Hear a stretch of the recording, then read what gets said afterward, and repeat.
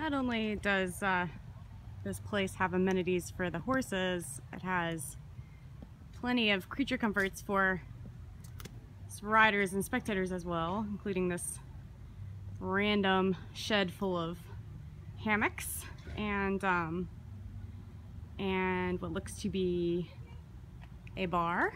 Um, no bartender right now. And uh, this is all right in front of the dressage arenas. And a uh, siesta cantina.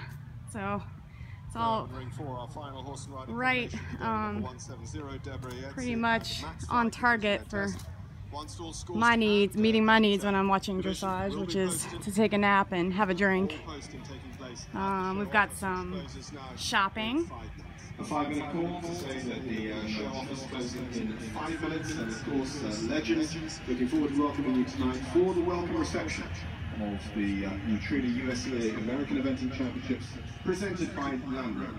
The uh, judges' stands do not appear to have central heat and air, um, which is a real disappointment. Pretty surprising.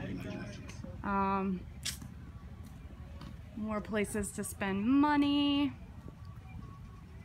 You can see over there, there's uh, the there's uh, sort of pavilions over the walkway here, so people can sit in the shade while they're watching their dressage. Things are a little bit, a little bit not quite set up yet here in full swing. It's kind of like being in a town on a Sunday night. Things a little bit closed up shop. Here we're coming up on the main arena.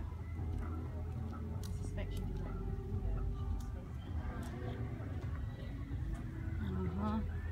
Barbecue, coffee shop. I don't know, I'm ready to move in here, I think. Clear Rounds Pub.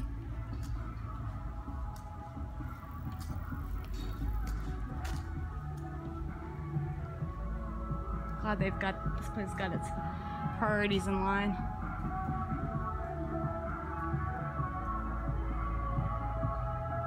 It's the main arena. We have the show jumping. It's a big atmosphere for uh, for a beginner novice horse. Well, win, lose, or draw, at least you can go to the, uh, hit up the Clear Rounds pub afterward.